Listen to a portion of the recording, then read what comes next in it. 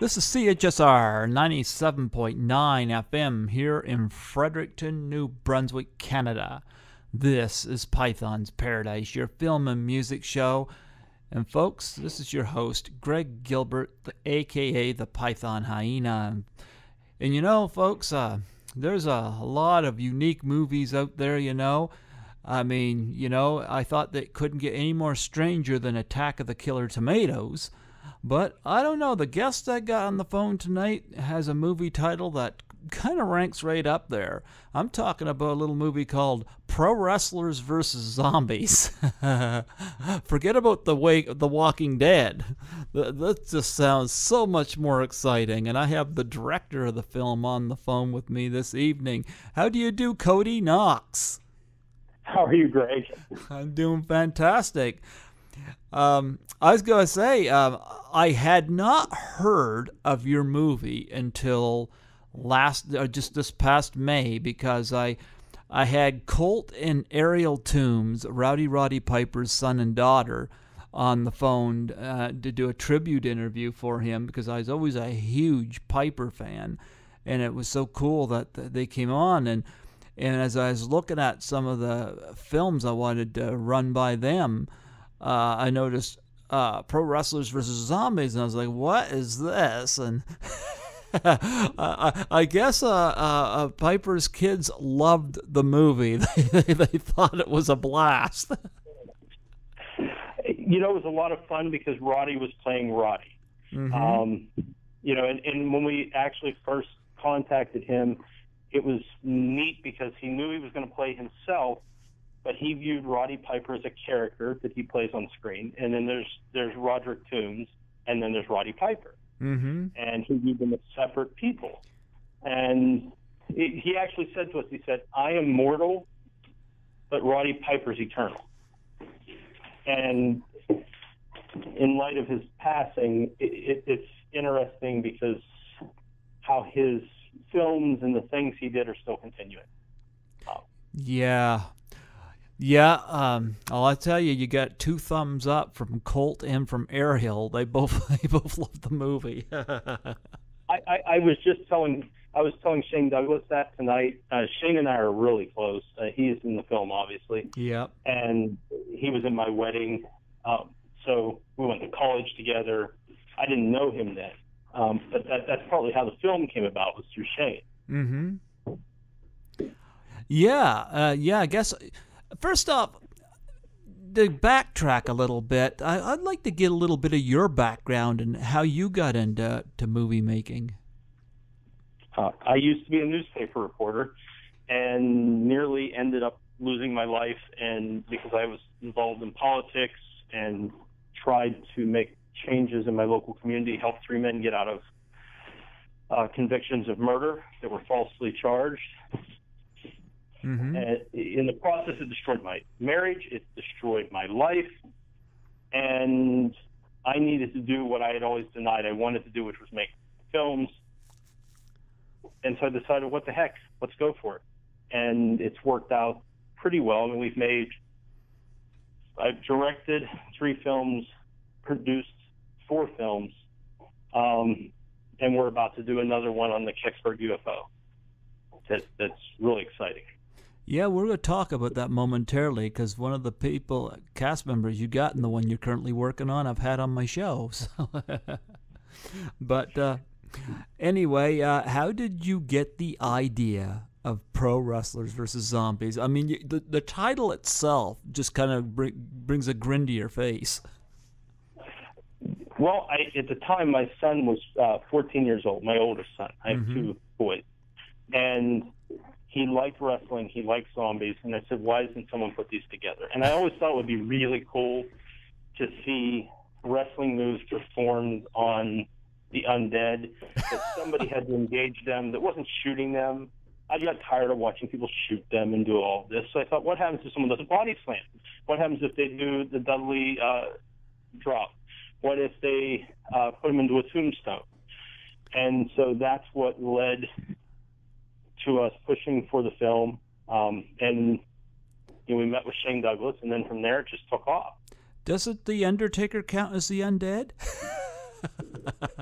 yeah, I mean, it, it's you know we got it was so many weird issues because you had to you know nobody was active at the time with WWE other than Hacksaw being one of their legends and Roddy being a legend. Mm-hmm. So we had to work within who was indie at that moment or who was TNA because TNA was fine with us. Mm-hmm. Um, and so that's how we got Kurt Angle as a cameo and Matt Hardy. And uh, Hacksaw was on the Legends contract, so he could do whatever he wanted, and so was Rod. Um, and then Shane, everybody's mad at Shane, so Shane's always like a free agent. It's just kind of a given. You know, I'm surprised the WWE did not do more with Shane Douglas because it's like I just remember he was in one Royal Rumble and then he just kind of disappeared. And it's like you know, people in the wrestling know who he is. It's like, uh, you know, he should at least be in one WrestleMania. It's like, what, like, what happened? Well, the pro- yeah, the problem is, is Shane is really bright, Mhm. and he's he's business savvy, and he knows when Vince is giving him a raw deal, and he also doesn't have the. I love the man, but he has no filter. He will tell you exactly what he thinks, and he will call Vince on his shit, and none of this goes over well with Vince. Um, so, you know, the funny part is he's an amazing actor. mm-hmm. He is nothing in person like the character he portrays. You know, a lot of these guys are. Hacksaw is exact. There's a reason why no, they they only had Hacksaw make a heel turn once, because he is a dream of a human being, a man that I feel blessed to have gotten to know because I was a kid who watched him walk in to fight the Iron Sheik, which led to the the, the I mean, Hacksaw, people forget Hacksaw helped put that over when Hulk Hogan goes in because Hack's the guy who gets beat first Yeah. as part of that build-up. Iron Sheik's beating all these people, and here comes Hack with his American flag and his two by four, and he's going to fight for America. And the Iron Sheik beats the hell out of him, and that sets up. There's only one guy left at that time in the WWF, and that's Hulk Hogan, and he's the only guy who can beat the Iron Sheik, and it was it was done masterfully. Did you ever think about And get? I- I was gonna say, do you ever think about getting the Iron Sheik in your movie? He's got like a whole second personality with the Howard Stern show. He has. We we had all kinds of guys we got to talk to in the build-up. Uh, we talked to Larry Zbyszko. Oh, great Uh, guy. the original, the original script had uh, Bruno written into it. Love Bruno. Um, Oh, Bruno's. I mean, we, we're having a really sad day down here because Dominic DeNucci's wife died uh, yesterday, um, and uh, actually, uh, Shane and I were discussing it, and he's there. Him and Cody Michaels are trying to help Dom, and I, I, I really like Dom. Mhm. He, he's a good guy. Uh, and, and you know, I grew up idolizing these guys Mm, yeah, and- same here. to get to work in a film with them was a dream. It, it's it's actually kind of I go back to my class reunion and it's like, you know, I worked with Roddy Piper. I got to work with uh, Hacksaw, and I mean, we traveled with Hack uh, promoting the film. We were, you know, we went down to North Carolina and met with Matt Hardy, and then Matt was down in New Orleans when we were promoting, and you know, I mean, we, it, it's just neat. I mean, Matt just had he has two children, and one of them's one year older than my son, and my youngest, and, and a year the other one's a year behind. And you know, I'm watching their kids grow up. Uh, you know, we we follow this stuff because we know him and Reby, hmm and it's neat to see them building a family. Uh, you know, and Hack's kids are going off to college, and for it to be that you can go to Wrestle WrestleCon, for example, and you walk in and they see you and go, "Hey, Cody, come over here." It's just it's just surreal, um, and you know them as as human beings Uh, because they are. And I know I think sometimes people forget that. You know, they they they post stuff and are angry at them, and Yeah. we all make mistakes. I mean, their life is full of pressure. Do you ever do you ever see Lonely Virgil at the WrestleCon? yes, I, I, I Virgil. You know, we talked about having Virgil in the film, but he is. and The funny part is, is he has an ego that's a, as big as a house. I mean, and, and I don't want to say it just he. It seemed like it would be difficult to have him in the film. Um, but you know, he he's everything's about the money. Where Yeah. with Roddy, it was about what we were going to do for the film and how we were going to make a good film. You know, he knew that it does. I can get paid, but I do better if the film does better. You know, he had been through that process. Why Um, couldn't Why couldn't you sign Bruno and Larry? Uh, we decided Larry was all in. There was no issues.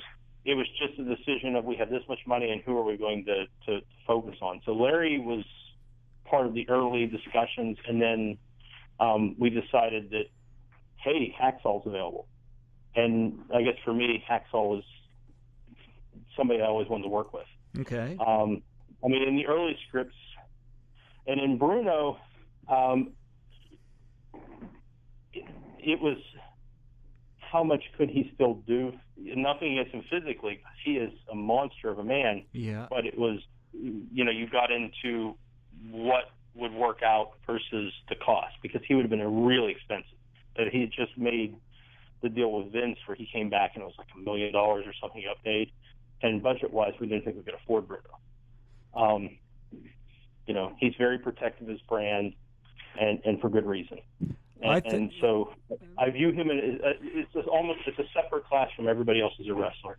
So we never got we never even got to the point of talking to Bruno about it. It was a discussion. Shane could have presented it, and we just decided. So it wasn't he turned us down. We just decided this isn't going to work for him. I think Uh, he's the greatest champion they've ever had. I just I have tremendous respect for Bruno. and, and, and in Pittsburgh, we all adore him. And so, you know, I, I think I should say it's more out of respect, you know, that it didn't fit his brand. Um, we did for a long time. Terry Funk was supposed to be part of the film, but then we got into the SAG issues, and and and we couldn't do it SAG. Love Terry. can't do it. And We we had all this stuff where he said "funk you" and he kills the zombies, and then he gets killed because they're all playing themselves. Yeah. So you get to see Matt Hardy killed. If you dislike Matt Hardy, You know who I dislike? Matt Hardy eaten, There you go. You know who I dislike? I absolutely despise Shawn Michaels. He took our con- Oh. he took our. I would have loved to see Shawn Michaels killed by a zombie. I he, he well during the micro before the Montreal screw job, he took our Canadian flag and he desecrated on it. And uh, Wow. yeah, he rubbed it on his crotch, he spit on it. I wish the fans had a stormed the ring and beat the shit out of him because I think Shawn Michaels is just he's garbage is what he is. He's he's and this whole I lost my smile. He's just uh, uh, I, I can't I do not like him. I, I think he's had everything handed right to him. I never liked him. That, that, yeah, I've never met him, but my impression as a fan is that, um, you know, so there's there's people that I, I really wish I'd have got to work with Terry Funk. Terry Funk was involved from day one with the script. Love role Terry. written. Actually, the role that Hacksaw had hmm was originally written for Funk. But the problem we had when you have people playing themselves, it's not like you wrote a role and they're acting.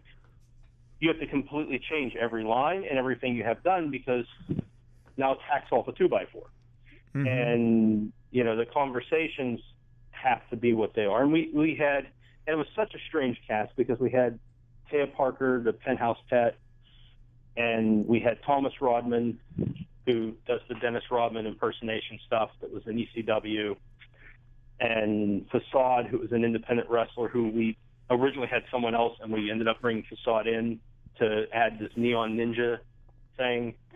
Um, and uh, I'm trying to think. The other one was Greg Grove, whose stage name is Matthew Rush, which we got all kinds of weird press. Actually, in Calgary, they ran a story because he's like the Babe Ruth of gay porn. He wanted to do a, a non-porn movie, and so we had this porn star playing himself becoming a wrestler. Okay. and he does the he does the uh, gorilla press with the zombie. Oh yeah, the where he bri- rips him in half over his head. Yes, yes, that, that guy is a superstar in the world of gay porn. And I'll tell you a funny story. When we showed the film in Germany and England and all these different places, every time there was a show, somebody would come up. They'd never approach me. They approached my wife. We were engaged at the time, so it was my fiance. But they would come up to her and they would go, "How did you ever afford Matthew Rush? How did you get him to do this?" Wow. And because it was somebody who was a fan, who's obviously, you know, a, a, a fan of his other works, and and and they would come up because they were excited. And that was, I mean, from a business plan, that was part of it. I mean, like we're appealing to a different market that normally doesn't uh, watch this type of stuff. But and he really wanted to do non a, a, a real film or something different in a comedy, and he was wonderful. Yes, I would hire any director in the world should hire him if they need a big, strong man. And I mean, he's ripped and but such a pleasant person to work with. Um, you know, there was there was always crazy on this set. We only got to film for 13 days, and we were doing stunts, which it should have been for like six weeks instead of two. Uh, but you know, and, and Shane Shane designed all of the routines and choreographed them except for Kurt Angle's, and Kurt did his own. Yeah. Uh, and Roddy did a little bit of the stuff at the end, but it was mainly Shane directing how they would look in the fight scenes. Here's another guy. Like I think it would have been great if you got Terry Funk. I mean, that guy's just a daredevil. There's nothing he won't do, you know. But I was wondering, Yeah, did you ever could? we- we- Yeah. We really wanted the ECW guys. I mean, because the, the the hardcore stuff, and you know, I, we should have had a zombie set on fire or something. That actually, that was in a script too. In one of the original scripts, we had a catch on fire scene where they catch, they they burn some zombies. There's nobody And- more hardcore than Terry Funk.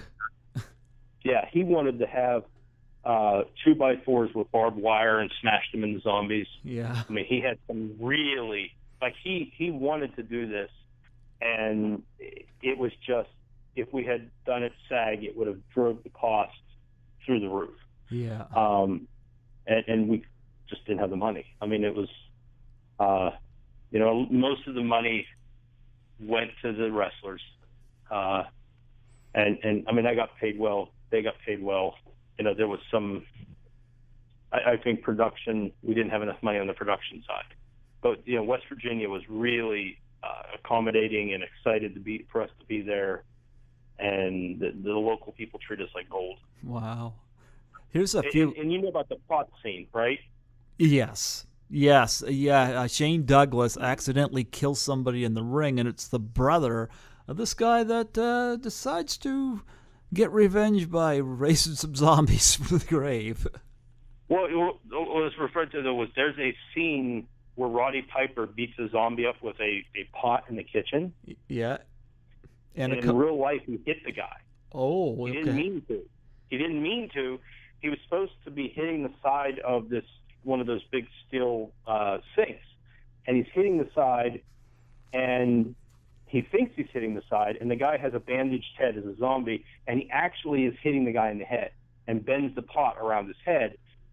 And this guy is a, rest, a, a local indie wrestler, Brandon Graver. He never moves. He gets up, and I go, Brandon, that looks like real blood.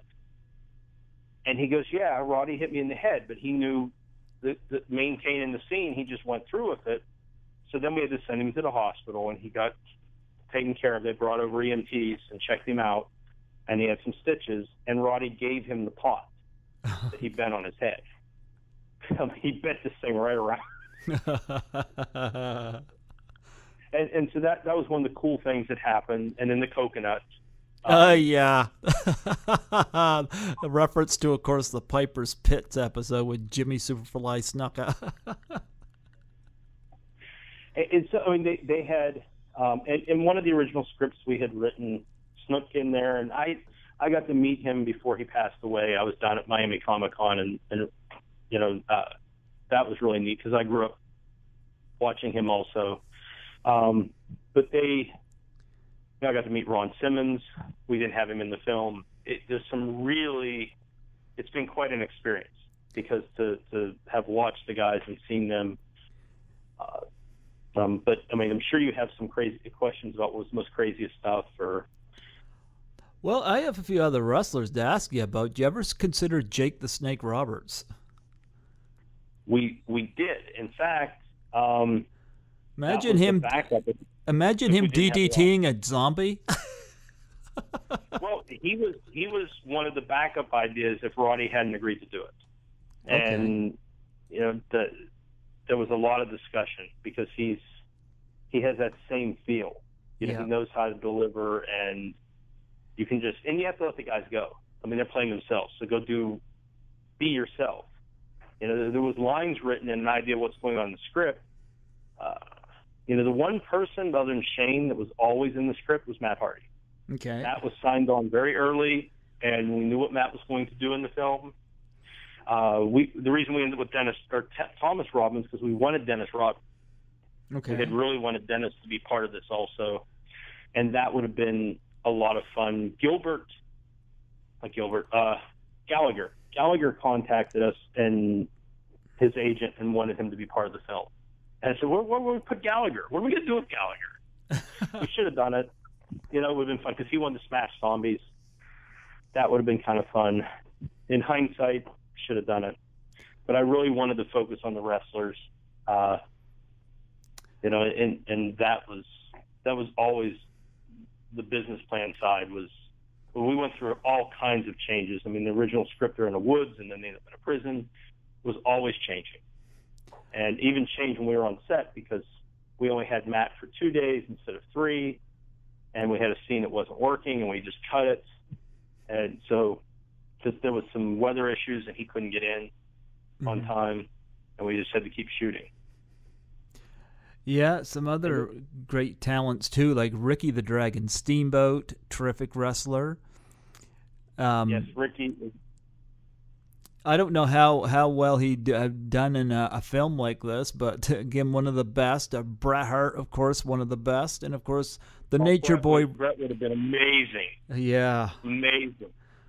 Uh, that that would have been. I mean, there's so many places you can go with it, and you know, we've played around with a a, a you know them fighting the undead.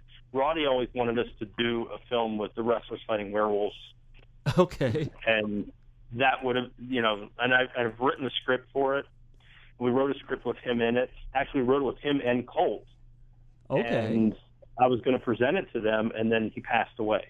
Oh. And it just was like, you know, there, there's, uh, we had someone that was really interested in producing that, and because he wanted to fight werewolves and that would have been fun. And we were going to use uh, Kevin uh, Sullivan.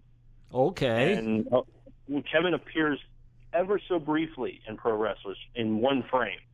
Okay. He's there in a ring. Uh, and I wish we would have gotten more use out of him.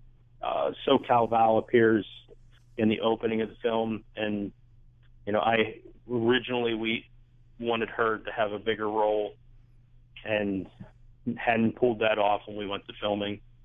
So, you know, that, that was because uh, I'm I'm a big fan of hers. I love redheads. Which who are you talking about? SoCal Val from TNA. Oh, okay. I, I we have her as a ring announcer in the opening of the film, but but we had wanted her to have more of a role. Um, and we did get her in the film.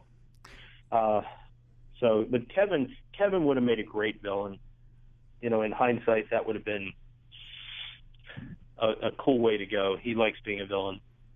Another interesting guy. Kevin at the time. I, yeah. We like that he appears in one frame, but I got to know him afterwards. And him, Joe Laurinaitis, I would love to do something with Joe.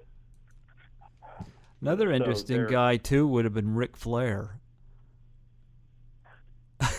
it would be hard to have Ric Flair and Shane in the room together. Um, they, they, they have real heat. It's not fake. It's real. They do not get along. Um, though you know, with Ric's recent problems, Shane has been nothing but gracious because they've all been part of a brotherhood, and and he understands that as you get older. Um, but you know that those uh, you know, you quickly learned. We talked at one point. We even talked. We can raise more money to have Hulk Hogan, and nobody wanted Hulk. Um, we had wrestlers that said, if he's here, I won't be here. You know, I don't know what their different issues were, but it was, you know, they, uh, you know, but that's, you know, obviously he has real star power. And when you're looking at the business side of things, you go, I mean, everybody loves The Rock. You know, we have people say, hey, you could raise millions of dollars and have The Rock. Yeah, that would be a dream. Um, How about Mick Foley? Mick Foley, we talked about. Roddy's part was actually originally written for Mick, and it was it, it, it, it, the first versions of the script had Mick Foley and and Terry Funk. Oh wow! Um, and and had them together, and I can't remember what happened, and we found out Roddy was available, and I'm I was a huge fanboy of Roddy's. You know what? I agree with you. and I, I went, I went with Roddy, and it wasn't that you know we went in and Shane is really close with Mick, and we just didn't even pursue that after that because once we had Roddy, we went we could only afford one of them, and this is the guy, and, and we wanted it to be a Roddy Piper fest. You know, like he's going to be this that you know it's always going to be him and Shane, and you know because I knew Shane better than other people to write his character. You know, and so you know Shane's the center point. Plus, Shane being an asshole and doing a heel turn in the film and all that is pretty much who he plays. Mm-hmm. Um, you know, people either love him or hate him, but they mostly hate him. And that was the point. you know, he he understood I'm a heel.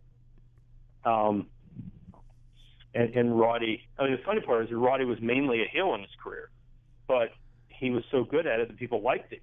Yep. And people forget that that like he was probably the best heel that that WWE ever had. Yep. So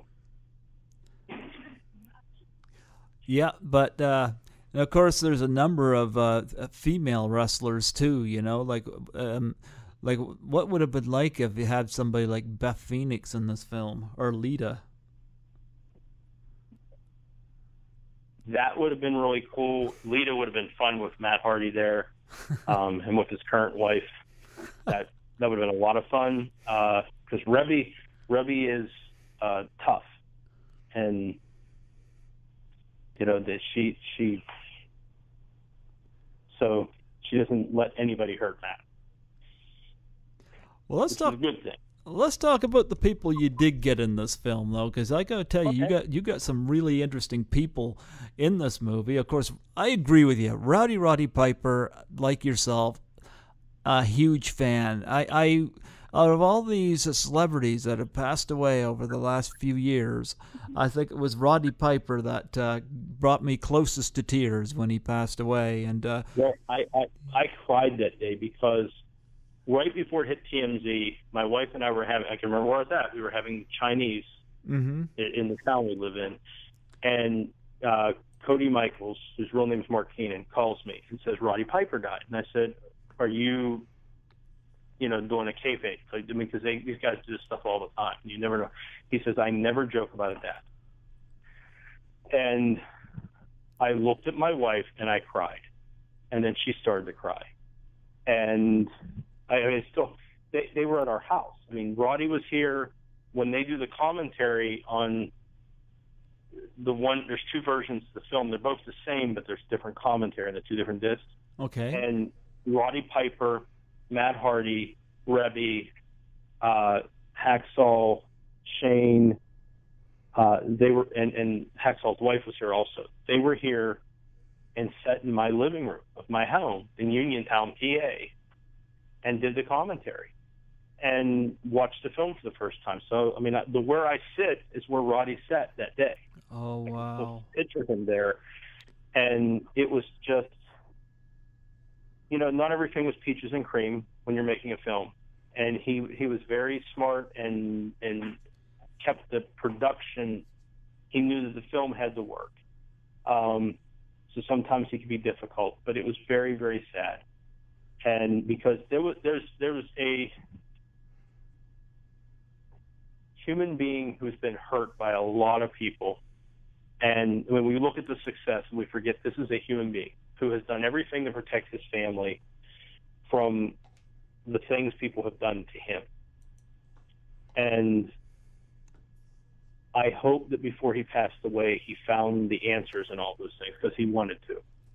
Yeah. You know, that's, uh, um, you know, where I think that's the reason he, when he did the, the Legends House and became so close to Hacksaw, Hacksaw is a truly deeply devout Christian man. okay. Yep. Same think here. That, that I think that appealed to Roddy, that he saw this calm, and that that he needed in his life, and that Hacksaw brings that or brought that to him. And you know, I remember I, I was just newly married, and my wife and I were fighting, and I was in Miami, and Hacksaw said to me, you know, you know, I'm coming off a divorce, and you know, there's so much stress when you're promoting a film.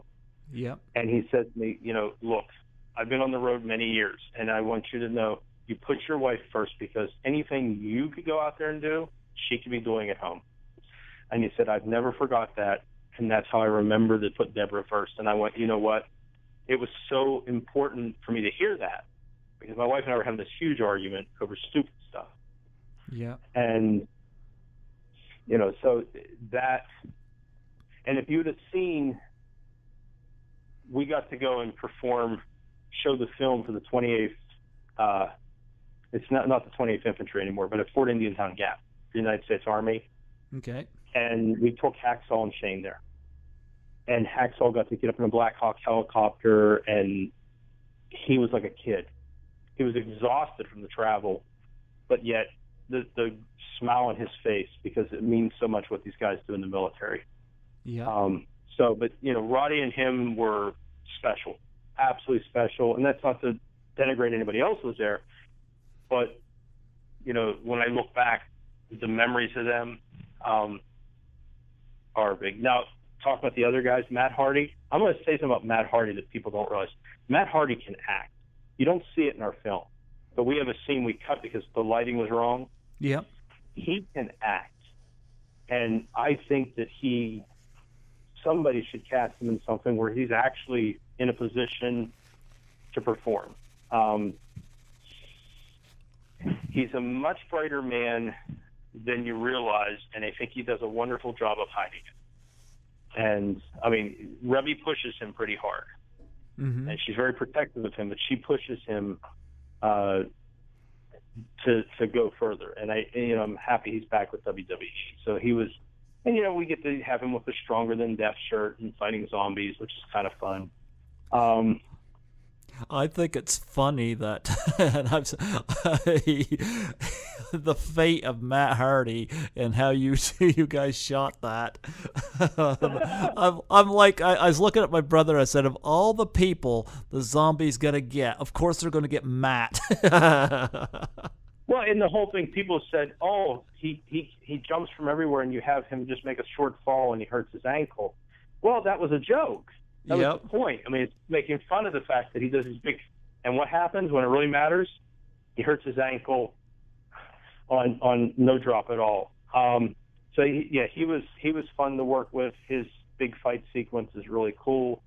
Uh, we had um, obviously Hacksaw killing him with the two by fours. Kurt Angle with the ankle locks. oh, he rips the foot right off the zombie. And that was his idea.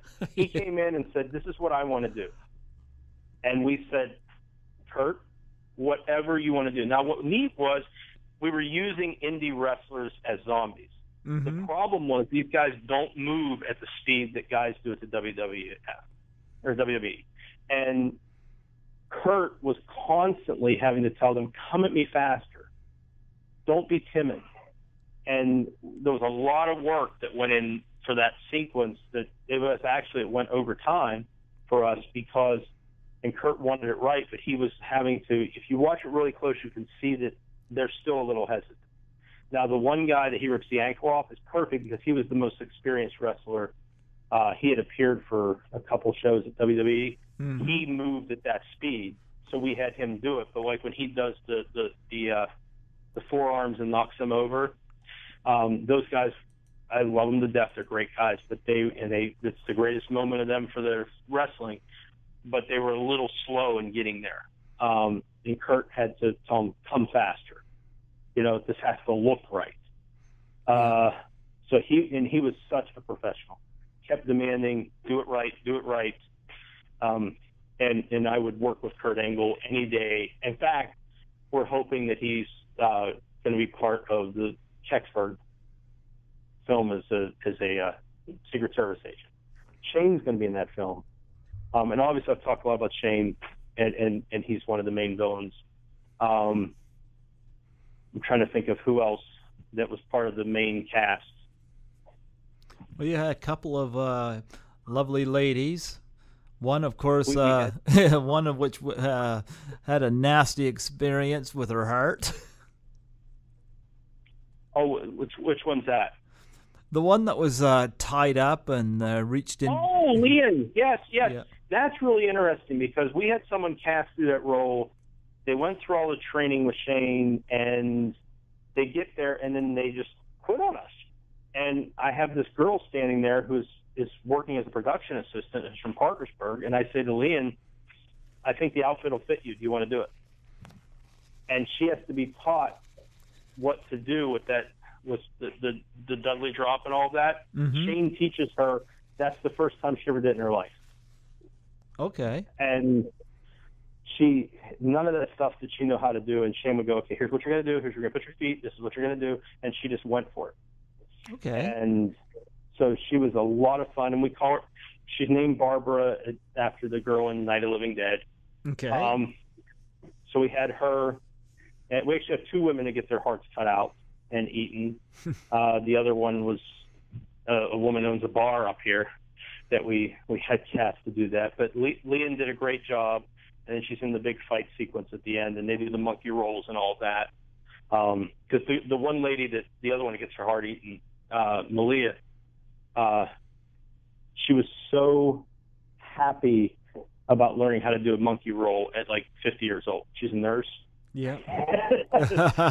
you know, she, she kept telling people, "I did a monkey roll. I did a monkey roll." You know, it was like, "Yeah, you did." Um, you know, so we, we had some really neat people, and then Shane's family gets eaten, um, which was fun, and you know, Cody Michaels plays his brother.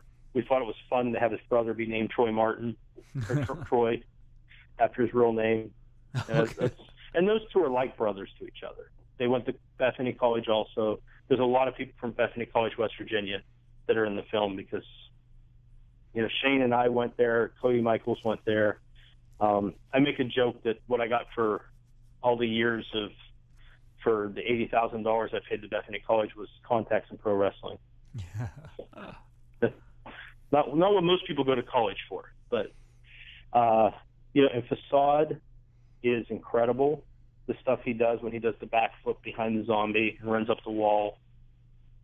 Yep. He he did some really neat stunts because there's nothing there. We had the main villain. The reason there's no big fight at the end, Roddy just beats the shit out of him. Mm-hmm. I shouldn't say that on the radio. Beats the hell out of him. Oh, go Um, ahead. Don't it- worry. Don't worry about it. Okay. Yeah. Uh, the reason that happens is because he separated his shoulder during filming. And- who who, who who separated his shoulder?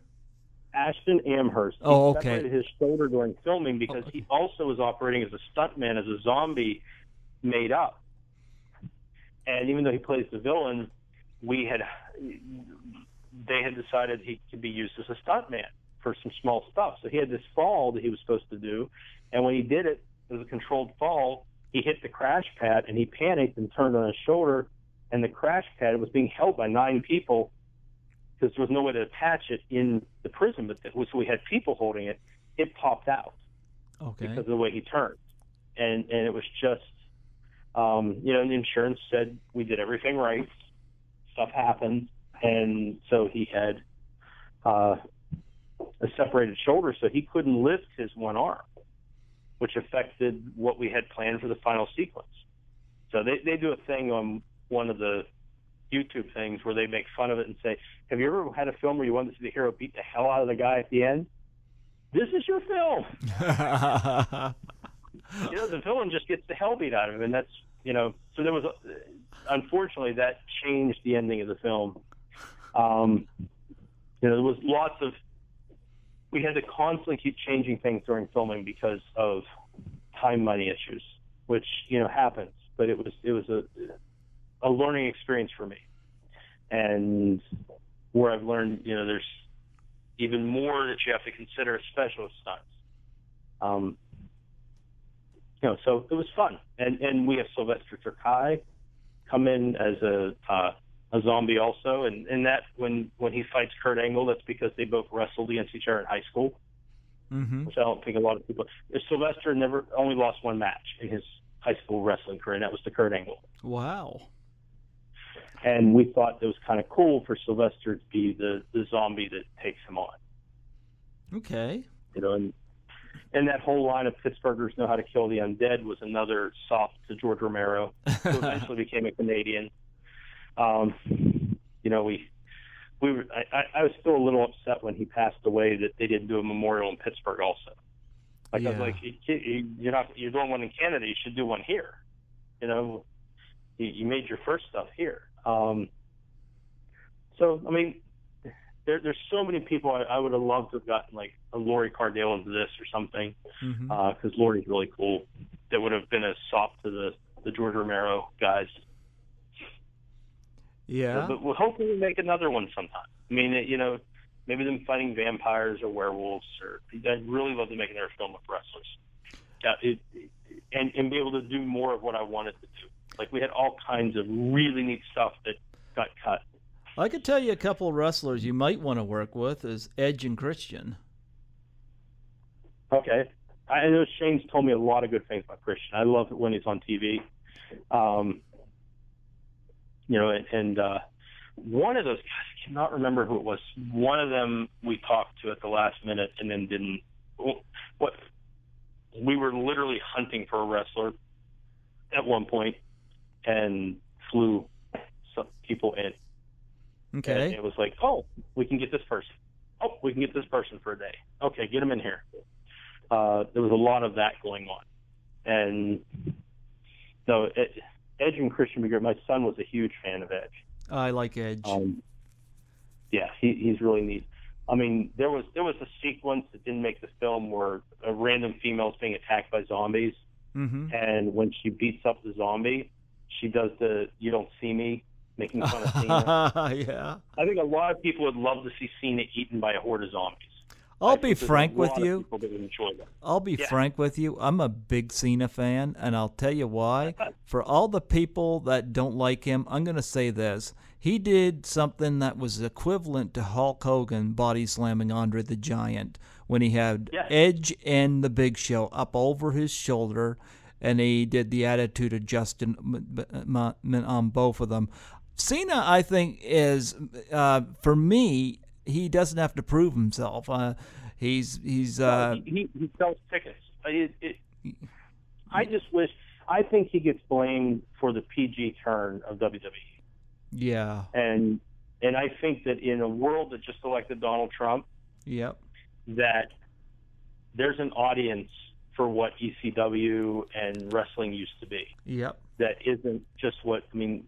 I think people have everything's become so sanitized and boring yep, that, uh, and and we have to be can't offend this person, can't offend this, can't do this. That at a certain point, people go, they rebel, and they go, you know what? I need to just have. I, mean, well, I used to be a therapist, and we would, and, and I would work with people on the street, and they'd say, you know, the, the, that line that comes out of African Americans is, you know, keeping it real Yeah. we're not keeping anything real anymore. No. Everything is fake, and it's like everybody took Dale Carnegie classes and decided to talk so dull. That's why Roddy was so cool because he wasn't fake. Mm-hmm. You know, he, you know, he put me in Piper's Pit, and the, one of the proudest things in my life is being in Piper's Pit, and beat the living crap out of me, and I was so angry, and I was furious, and I wanted to get up and challenge him to fight, and I said, and then it hit me, and I said, you know what? I'm in effing Piper's Pit. Who the hell? How many people get to do this? How many people get to sit in Piper's Pit you know what? I am going to relax and smile. No matter what he says to me, it doesn't matter because I made it to Piper's Pit. Yep. And once I did that, he picked up on it immediately. That's how sharp Roddy was. He saw immediately there wasn't going to be any more getting me upset. I wasn't going to get angry because he wanted me to get mad. You know, from a publicity standpoint, he was right. It would have made us a ton of publicity if I got up there and challenged a fight or swung at him or done something because I was mad. Now we got great publicity. We got heat. Mhm. Okay. Yep. But I didn't want to do that because to me, I, I worked in politics before. I look long term, and I try to go. You know what? What's the long term decision? And I want to make films, and you can't be getting angry. It might work to get us publicity, and that's short term thinking. So, anyways, the moment he saw that, he went right off of that, and he wanted to entertain the audience, and he went and told Ric Flair stories, and had him laughing, and that was, you know, and afterwards he gets in the car and says, "Hey Cody, the movie was comedy, wasn't it?" And I went, "Yeah." you tricked us. You, we thought we were doing this really serious drama. I said, "Yeah." I mean, I don't know how they read the script and didn't think it was comedy.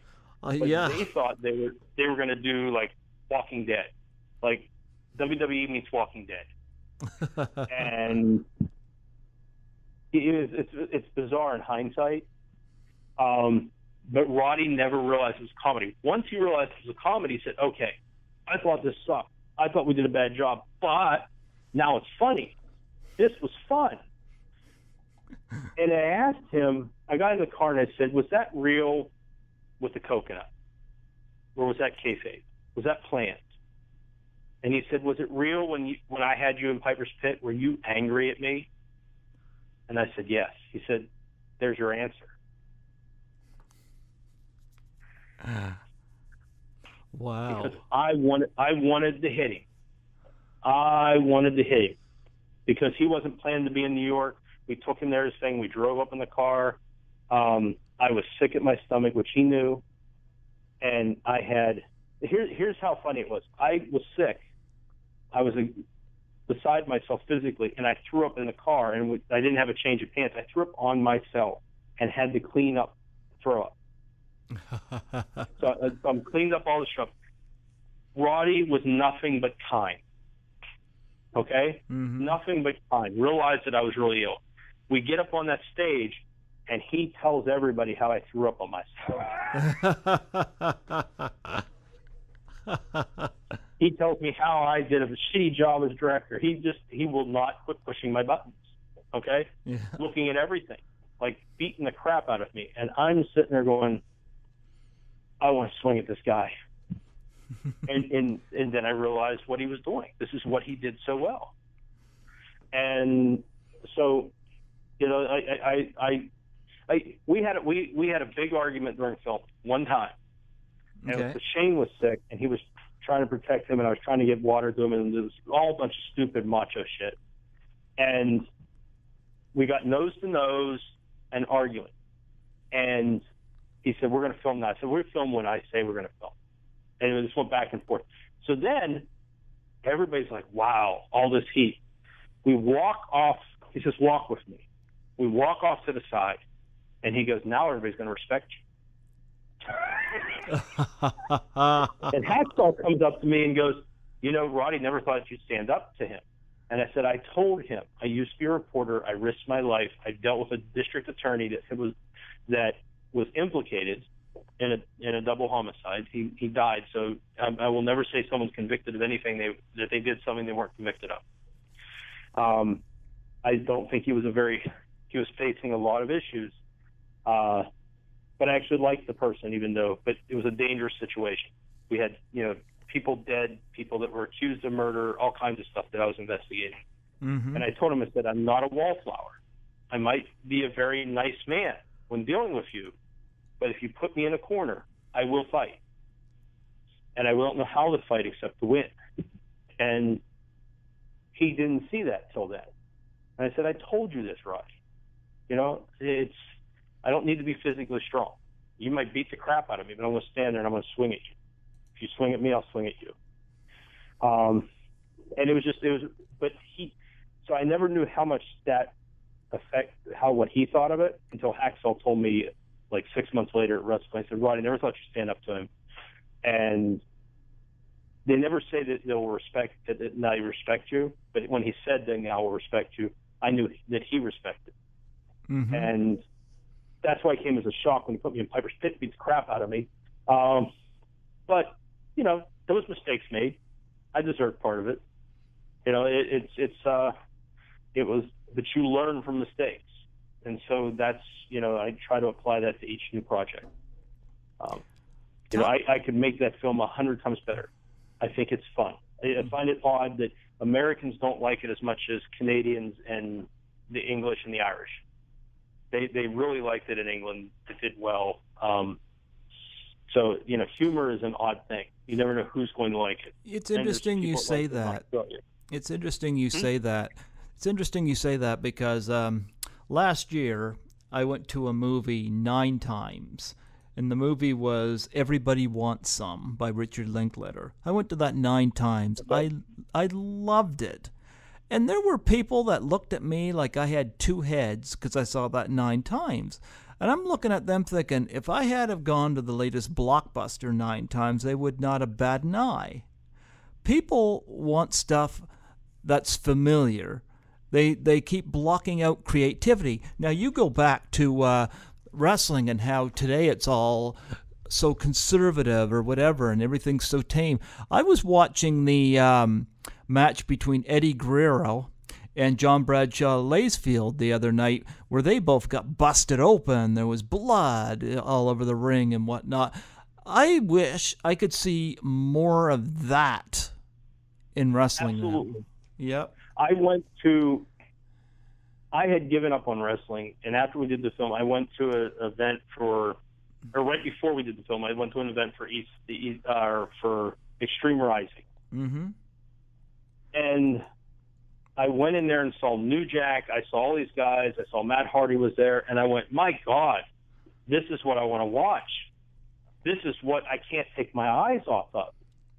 And it's not guys doing every move. It looks like they're fighting. I mean, people always say wrestling's fake. Well, here's my answer to that.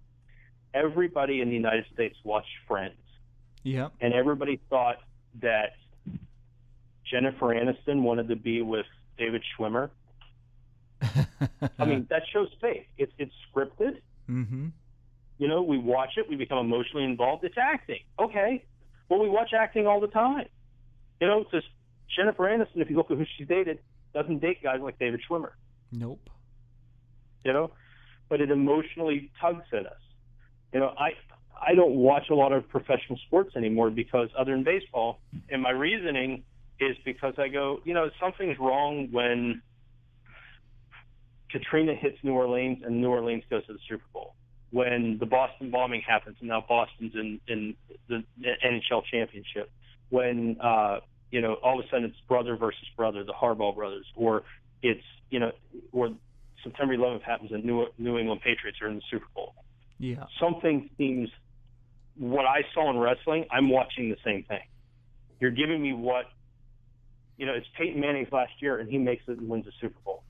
Yep. It's Jerome Bettis' last year. I'm a Pittsburgh Steeler fan. He wins the Super Bowl. Are you kidding me?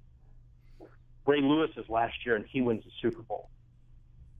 That sounds contrived to me, Yep. and it doesn't happen in baseball because of the Black Sox scandal. And and uh, you know, but I have gotten where the NFL something isn't right.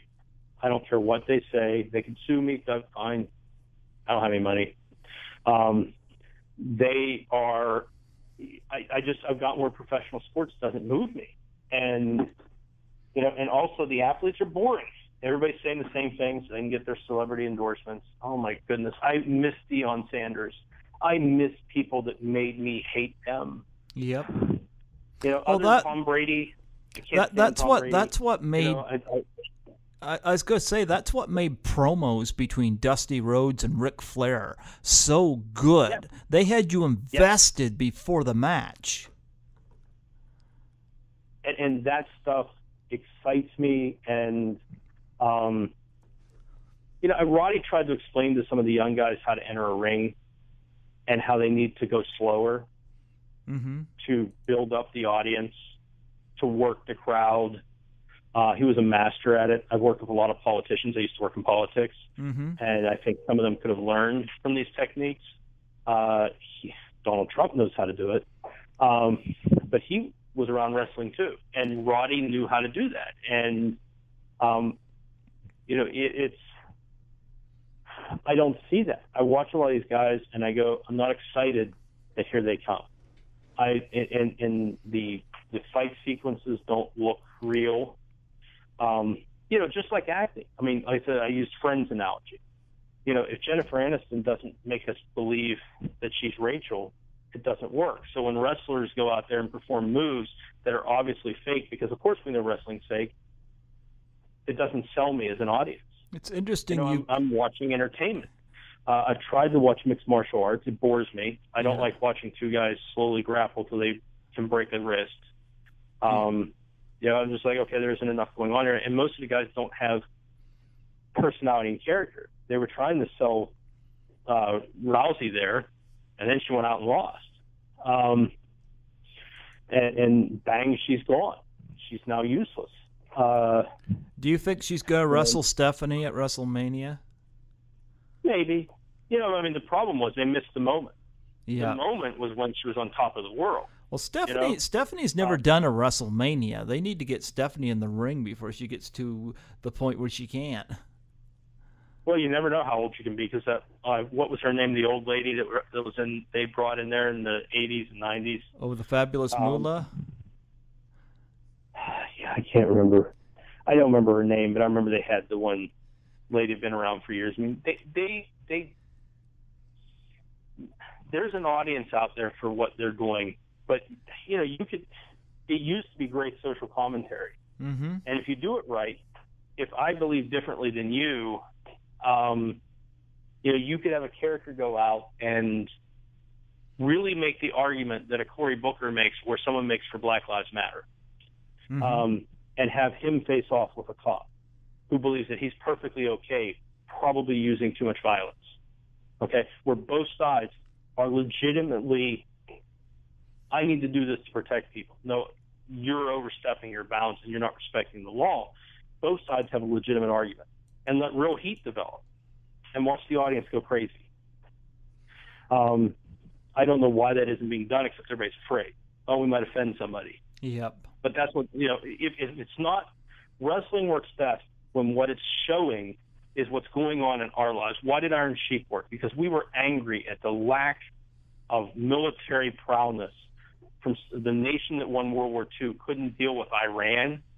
They were holding our people hostage, and we felt powerless. And Vince smartly played off of that. Yep. And Iron Sheik only works if these things he is saying are legitimately what someone from Iran would have said. Yeah. It can't be the carbon copy, over the top, goofy characterization of it. It's got to be real. You know, like we we we, you know, I I watch Fox News and they refer to different groups as savages or whatever. That's ludicrous. To them, they're supporting their side. We have our side. I view them. We don't view their tactics as correct. Okay, mm-hmm. we go well. They they they kill people. They kill innocents. Well, what do we do when we bomb people? You know. Now, to me, because I work in politics, it's very simple. We both have interests. Those interests have collided, and we've decided to settle it by force of arms. Okay. I'm not morally correct. You're not morally correct. Neither one of us is morally right. They're not evil. We're not evil. They view us as evil. Okay. That doesn't mean I think that we have no right to do it either. You know, I mean, because that's where a lot of people go. Well, we're both moral equivalent, so we all have rights. No. But wrestling takes that and brings it to the forefront when it's done right. But right now, we just have a bunch of vanilla people. Yep. Who, you know, we can only hate because they're because what happens is if they don't stand for something, and I'm a villain, right? Mm-hmm. How can I be a villain? Why am I a villain? Because I'm a bad guy. Well, and I act in a bad fashion. What made Roddy Piper work was Roddy Piper believed he was the good guy, and then people started to believe him. Archie Bunker. Yep.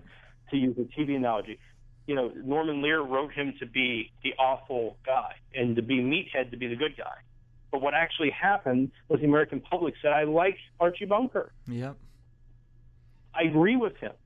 And, and, and um, of a lot of things he's saying because Norman Lear wrote it well, where you could identify with him because he wasn't uh, just a bad guy. He was a guy who this is how he saw the world.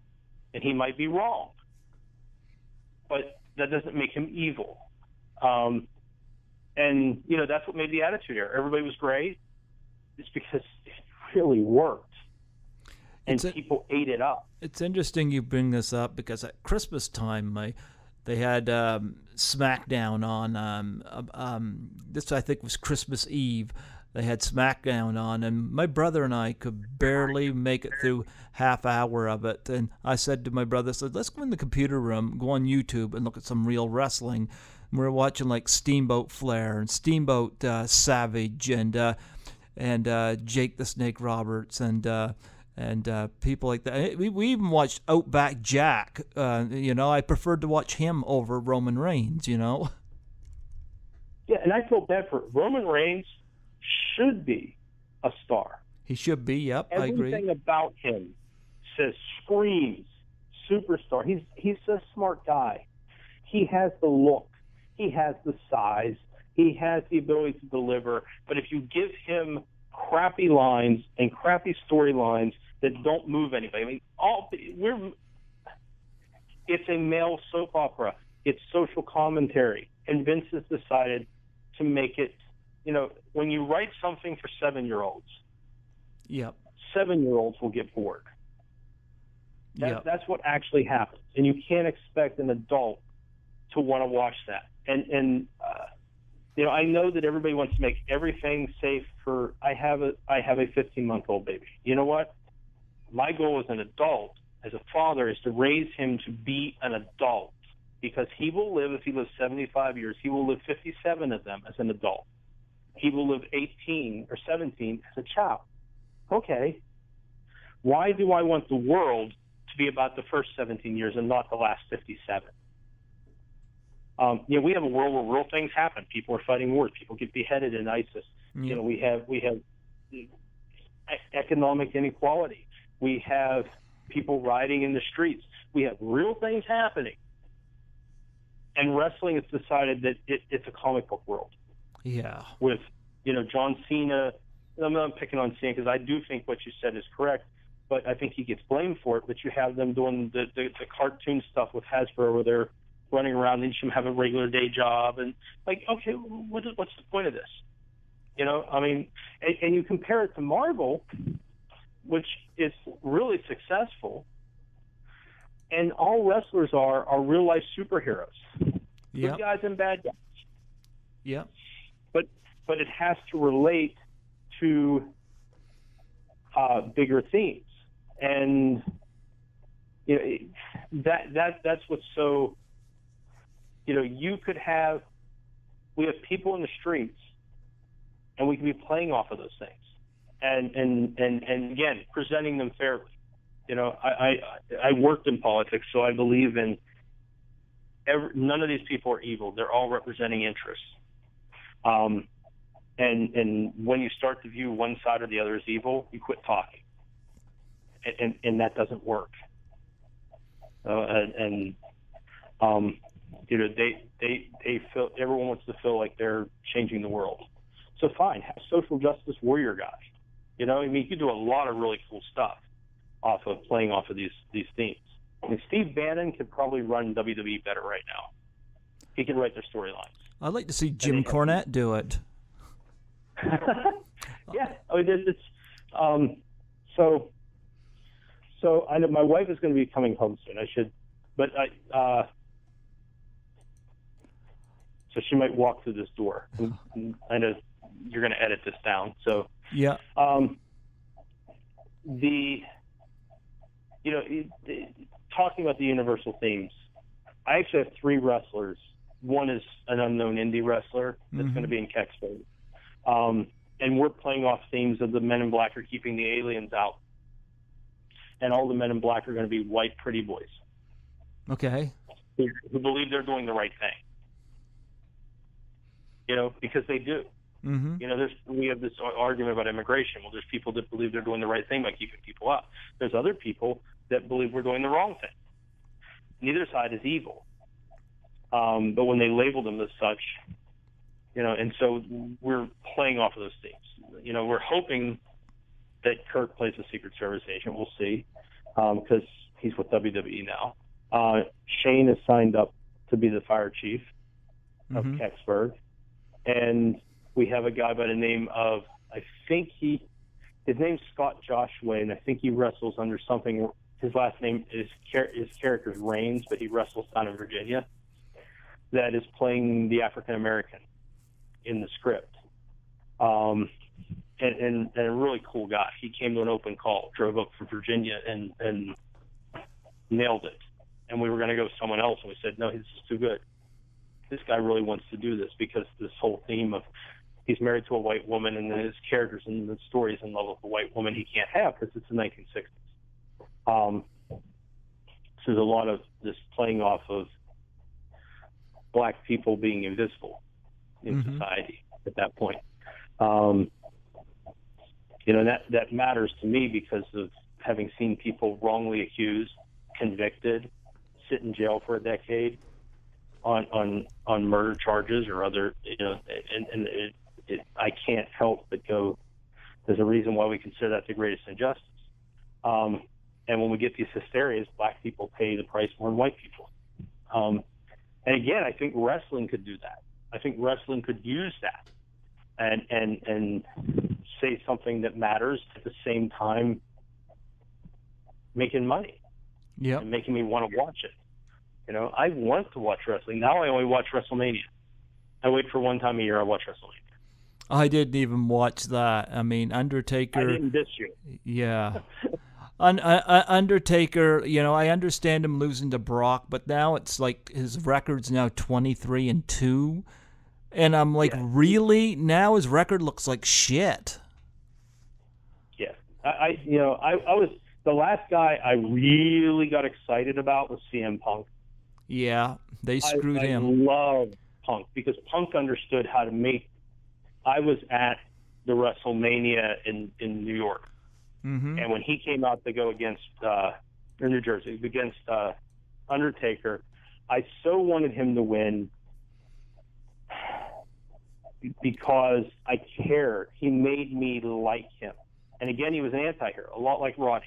To me, he was a lot like Roddy Piper, and I thought he was an underused talent. I thought the move MMA was was silly um, because what makes Punk work is not whether he can fight or not. It was him as a character. You know, and MMA needed him because they were trying to. They need characters because they're dull on the on the character side. They have guys who just swing at each other. Okay. Um, you know, and all these sports are in trouble because of the the head injuries and all that. Um, you know, that's. But what are we going to do? Have a whole world where no one has any contact sports, people are going to find it. They're going to do it. Um, you know, it's because we choose to. As men, it's what Fight Club revolves around. Yeah. You think about Fight Club. That's that's the world of wrestling real. And and what's that all about? A world so sanitized that men cannot be men. Yeah. Men are, you know, uh, and, and in historically cultures that do that, whether it was Troy, when they said that they're, they're, the king makes a statement that all of my men have become dancing men.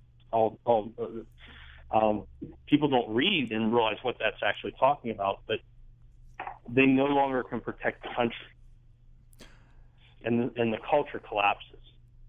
So there you go. I'm a philosopher. I was going to say too. Talking about wrestlers and zombies and Another thing too, I, I, I, and uh, that turned me against wrestling. I hated what they did to Sting.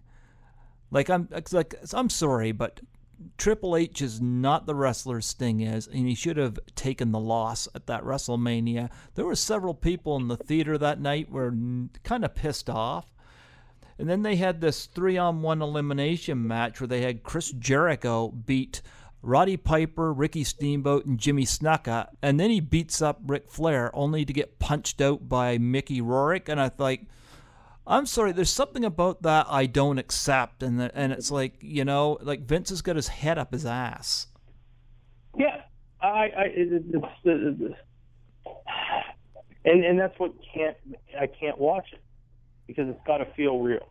And I agree. Me. And and I agree with the honky tonk man on when it comes to uh, Shawn Michaels. You lost your smile. Well, maybe Vince wasn't bent in the right position. yeah, we we thought about using honky tonk man too, but um, when I read when I wrote another script dealing with this, the one that was going to use Roddy and his son, we had it set in Vegas and had Honky Tonk Man flying as a vampire. okay. Um, playing Viva Las Vegas. Yeah. We thought that would be funny. A honky tonk vampire flying around Vegas. There you go. You know, cause it's got to make us, got to make you laugh. Yep. But um, well, she's going to be pulling up, so I should uh, do you have any other questions? And Actually, I, I wanted to touch base on um, um, one of your, your recent films here for a minute. But before I do, okay. I wanted to ask you about the makeup job done on your zombies, you know, because we never did t- talk about that. Oh, okay. Um, you know, we had very little money for makeup, mm-hmm. and so the, the, they had some wonderful people, Z Vagoda, uh, from down in Parkersburg that went ahead and did the makeup. And most of the people came in their own makeup because we were in a position of that was the way we could afford it. Now, Kurt Angle and some of the other ones, the makeup was done, and the, the zombie that gets split in half, that was all part of the production. But a lot of those random zombies yeah. that were not wrestlers were people who came. Uh, they, they they showed up. There was like 500 of them, and I went to pull these people. They have the best makeup job, and that's how that happened and I just chose to bring them to the front. I was going to bring up. Um, oh, okay. Okay, I was so going. I wish we had more money for makeup, but we did. We I think we had like five hundred dollars. I can't remember. It wasn't very much. okay. I was going to say you get a film, I think in post production, and you're working with an actress I've had interviewed on here, Lisa Wilcox. Is she Uh, yeah, we we, we uh, you know um, we had a producer that knows her, and um, we're going to be doing Kecksburg, yep. and we're excited about the the prospect of working with her. I mean, it's a cameo role, um, but she was in Nightmare on Elm Street four and five. Yeah, and uh, I haven't even gotten to speak to her. I mean, this person knew her, took care of it, and actually, this one producer said oh, um, they're going to pay the contract. I mean, they're going to pay her to be in the film. I said, okay you know, if they're paying, that's great. Because we love the idea of her being in the film. Mm-hmm. Um, but it was a very small role, and it originally wasn't built to be a cameo. And then we had to bump it up because you take advantage of it. You have a chance to have somebody of a certain caliber involved. And I've, I, you know, I, I've got to work with a few horror icons before, like Doug Bradley from Pinhead. Oh, that's Doug. right. Uh, what was the film you used him as a voice? Did you not? Yes, uh, Lucifer's Unholy Desire. Okay, um, yeah. He, he lives here in Pittsburgh, so yeah. he is uh, very accessible. And in a perfect world, I would love for him to be part of uh, Kecksburg. You know, we we have a role that would be perfect for him, and we haven't cast it yet. We have one major role left, or two, because we have that and um, the the president, which we've made an offer to someone, which I can't disclose who it is, but it's a it's a pretty cool actor, and I would love to work with him. And I'm waiting because he's like half the budget of the the film of the of the actors. It's just for this one guy to play Lyndon Johnson. Um, so we have to wait and see. But then Doug, the the role we would love to have Doug in is a one day role, but you know you don't. We haven't made any formal offers, and I just wait and see what happens. You know, because I haven't got to the point of that role needs cast most of the film's cast, but that I'm leaving that role open. You also and you also did a film called um, uh, Breeding Farm. Is that what is that what it's called? Oh yeah, I rarely talk about that film. I hate that film. Oh okay. Um, I, I gave up all rights on it. I made a film with Richard John Walters, which appears in Pro Wrestlers vs Zombies. He was in My Bloody Valentine 3D. Okay. He Harry Warden in that. Um, I love Richard. Um, that that film was my first film. I got distribution, uh, but that's that's about all I'll say about it. we made it for fifty four hundred dollars or something. Uh, it's uh, yeah. well, pro, pro wrestlers versus zombies is that on Blu-ray? I I think it is. Uh, Troma did the uh, all that with the Blu-ray. Okay. We have a DVD version which has Roddy and them on the commentary that is sold directly from. We were allowed to sell our own version of the film, Okay. and then Troma has their version of the film, which has the director's commentary, Okay. and uh, which is slightly off, not on our part, but we lined it up with the film, and they didn't line it up right. So Okay. the director's commentary, I'm telling you what's going to happen in the scene about three seconds before it happens, when it was actually designed to be right when the action's happening. Because unlike a lot of commentaries where people sit there and they drink and they just ramble, we Mhm. decided to actually discuss the film.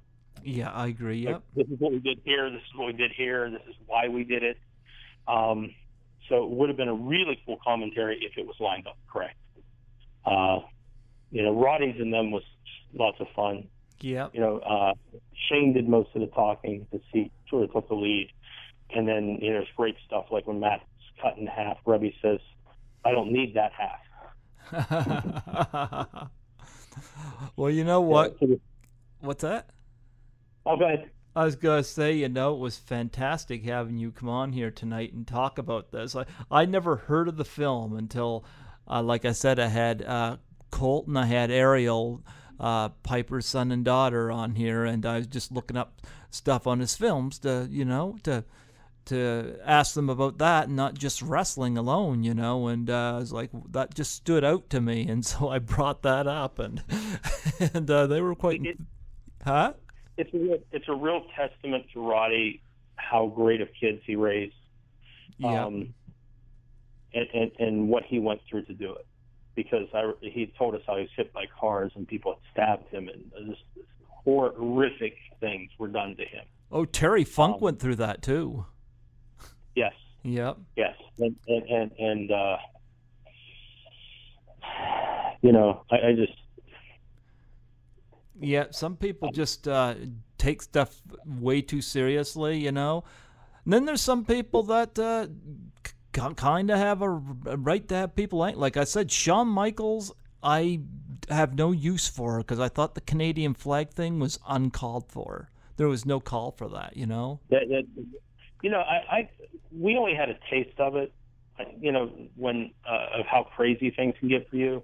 And I worked in politics, so I was used to crazy people. But I remember um, walking when we were doing the showings of pro wrestlers. We had a guy who was really into everything. He was buying everything, and he was following me to the point he was following me when I went in to, to take a piss Okay. and I had to tell people keep that guy away from me. He's making me nervous. And you know, I Shane said there was a lot of different things. He said, "Welcome to what we go through being a celebrity." And and I, I don't think the public realizes, you know, that that uh, there's always someone trying to make something out out of something or or use you to to further their emotional needs. Um, and it makes these guys very wary. Uh, I'm very fortunate that I get to work with them, and you gain their trust, and you have to be cognizant of that. You Yep. have to be uh, worthy of it. And I've made mistakes, and and and you know, um, and, and things that I wish I'd have handled things a different way. Um, but that's the only way you learn and grow, and and um, why I believe in forgiveness. Um, but you know, I feel they go through a lot, and it's not all roses, especially wrestlers because they beat up their body for it. Yeah. Um, but yeah, we, the, you know, we're we're hoping to have some really cool people. Uh, my friend Maria Olsen is going to be in Kecksburg in a cameo, and she was in Percy Jackson and Val and a bunch of uh, really great horror. She's been in a hundred some horror films. We have a bunch of, I would say, the workhorses of indie horror, and you know, they they they, they might never have done a thing that you know, you absolutely knew. Like Maria was in Paranormal Activity three or four. I can't remember which one. Mm-hmm. So I mean, there are things that you know she was in. I Spit on Your Grave, um, but these are uh, the yeoman workers. But we get enough of them, and we can make an amazing film. I mean, this is a you know the second largest UFO incident in North American history, and it's never been made into a film. All the other major incidents have been made into a film, and uh, we have people coming from everywhere to volunteer time and their effort. And, um, you know, we're going to be doing an Indiegogo in October to uh, give people really cool stuff like spaceships and aliens that they can purchase. Um, and, and we need them to pre-buy because that way we can control the film creatively and do it the right way rather than having to have someone go out there and, and change everything um, and people realize that many times you have a good idea, you can get someone to fund it. Uh, yeah. But you want to be able to do it the way you see it will work for the public, and that's what we need people to invest. But it's a huge story. I mean, Hillary Clinton demanded the records um, in 2016 on Kecksburg. She did a freedom of information request, and the government said they don't exist. So the thing fell from the sky. The Army responded. The Air Force was there and the records don't exist. Okay, and if they, you know, w- one of our taglines is that they could lie, what's so secret that Hillary Clinton can't know? Yeah. What What is such a secret that she can't know? Um, and so it's really weird that our advertising is revolving around Hillary Clinton. Yeah. Kind of a kind of an odd thing. I, I mean, I ran as a Trump delegate of all things, but I also call him an asshole on national television, which is did you ever so think? My, go ahead. I was going to say, did you? Um, it's sad that we don't have Roddy Piper anymore, but did you ever think about uh, using Colt or Ariel in one of your movies? I well, I I've thought about it because I would love. Uh, Colt has hung out with my friend with Shane and a friend of a mutual friend of ours, a guy named Bill Townsend, was trying to get Classic Wrestling Revolution up and running and they were going to use Roddy. And uh, Bill was an internet tycoon. Um, and he's actually appears in one of my films, Gore Orphanage, that I produced. Uh, he acted in it, and so he is, you know, he was there at the funeral and um, has gotten to know Colt and um, the whole family. And so I would love to, love to, because they're they're, you know, Roddy Piper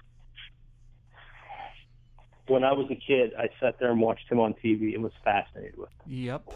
Absolutely fascinated. I mean, somebody should make a biopsy of him, and the perfect actor is Russell Crowe. If you look at Russell Crowe in and how he looks physically in the face and Jeez. the way he behaves, it's so similar. I agree. I agree. Yeah, I never thought about that. If you see him walking away, I just watched the film was like set in the 70s, and Crowe is walking away, and I could have swore it was Roddy Piper. The way he walks, the hair, um, and it, that would be an amazing film. Wow.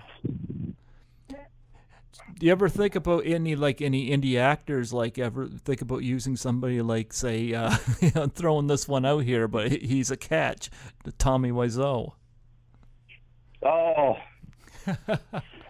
or one of the trailer park boys. You know, it, it, it's interesting because well, with Kecksburg, our goal is the highest quality we can do. Um, and I don't mean to say that they're not quality, but you do some things like when we did pro wrestlers, you do them to get attention. Mm-hmm. You cast this person, you do this and this and this. And then to me, there's two levels of, and then you go, okay, here's what we're doing. It's a very serious film. It's a very, you know, a, a certain different tone. Um, and it requires the best actors you get your hands on um, for the price and then you have films where you're doing it because like what we should have done pro wrestling, we should have took Gallagher up on the thing and had him smashing zombie heads mm-hmm. um, because that would have been fun. Yeah, and the whole purpose is fun. So it, it's it's always you know Tommy would be a great guy in a film like that. I wouldn't want to put him in a position where he's required to seriously become the person because I don't know I don't know if he can or cannot. I only know from watching the room. Okay, I think he can be Thomas. I think Tommy. Utah was no. I've watched the room. I've been there and through the the, the plastic forks and spoons. Um, you know, I've yelled bridge when the bridge appears. My wife doesn't understand this. She won't go to see it. And I said, you have to. You just have to go and experience it. You don't want to watch it. Watching it at home doesn't mean anything. Being there matters. Yeah. Um, you know, so, you know, and, and, and Troma, and we were very fortunate to have Troma uh, be the distributor. And I, I always thought they would be the right person. I grew up watching their films. Um, and, and Lloyd Kaufman is, he gives starting out filmmakers a chance. And, and I'm starting late in life because I spent most of it in politics. Um, but things have been going r- really well. I mean, I'm able to do this full time, and I have a wife who works very hard to enable me to do that. And and it's not like, hey, I'm making money or a lot of money. You know, she sacrifices um, so that we can do this um, because she's really into the arts too, and and I, she's a blessing. Well, you know, you know what, Cody, I I've got to say, if you got any projects in the future coming up, you know, don't hesitate to reach out. I'd be more than happy to have you come back on here and promote uh, anything you got going on. Um, this this project definitely caught my attention, and uh, I share your love for wrestling. And uh, and like yourself, I like the old school stuff so much better than what's going on today. And this was a tribute to that. So you know, it was supposed to be fun, and it's lots of inside jokes. Mm-hmm. Um, you know, it's constantly, uh, but it's been the English in the in Canada and Ireland and stuff that's got it better than the Americans. So Yeah. I, I think they. My wife says when they saw that you had all these Hall of Famers and how did you get them together, they thought they were going to see something with you know a ten million dollar budget. And we, you have limitations of time, money, and, and mainly the money. You know, the money determines how much time you have to film Mm-hmm. um, and and you have to make compromises, and and you know people don't realize that, and you end up with a seven-person crew doing all the work instead of like a thirty-person crew. So, you know, the, could could I do it better today? Yes, but that's because I went through the process and learned. Um, you know, so you know, it was I never quit going on it, and I had to raise the three hundred thousand dollars and um, find people that were willing to invest in it, and that's you know that's the biggest headache of all. That's where we're at with Kecksburg right now. So, Yeah. well, Well, my my older son is having trouble with the younger son who's 15 months, and he's looking at me. He's go to bed now. It's past bedtime. well, be- before you go, before you Yeah. go, could you do a, a plug for my show? Absolutely. Yeah, just state your name and say you're listening to Greg Gilbert on Python's Paradise out in New Brunswick, Canada. You got Okay, that? Greg Gilbert. Yep. Greg Gilbert on Python's Paradise Python's Paradise. out in New Brunswick, Canada. You ever been up this way? I have never been up that way. I, the furthest I've went is to Toronto. I had the pleasure. I saw Owen Hart live uh, when he was in Fredericton perform, and I'm I'm so sad he's gone and the way he went. But I remember seeing him in the ring. Yeah, that was. Oh, Shane's told me a lot of stories about that. Yeah. Um, this is Cody Knotts, and you were listening to Greg Gilbert on Python's Paradise in New Brunswick, Canada. and we are celebrating pro wrestlers versus zombies. It has big, powerful men and really hot babes smashing zombies.